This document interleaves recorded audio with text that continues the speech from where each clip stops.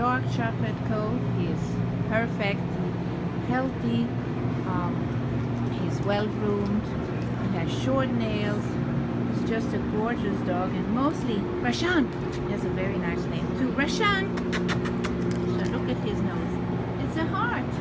And this is why he likes ladies so much. Lady dogs, of course. And he's very friendly, very sociable, wags his tail a lot, loves treat and will sit for them. Hey, Papa. Look at this nose. Look at this pink nose. Look at this beautiful heart, nose.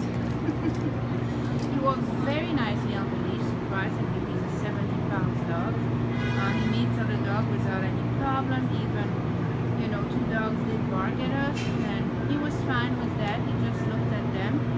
Uh, he definitely likes females and uh, cries a little bit when he sees one and uh, uh, jumps a little bit. Uh, he's hoping for a meeting, and maybe that will happen. Who knows? In playgroup, right? So Papa, here's for you. Look at that nose again. Very cute. So this is Rashaan. Really love him. And a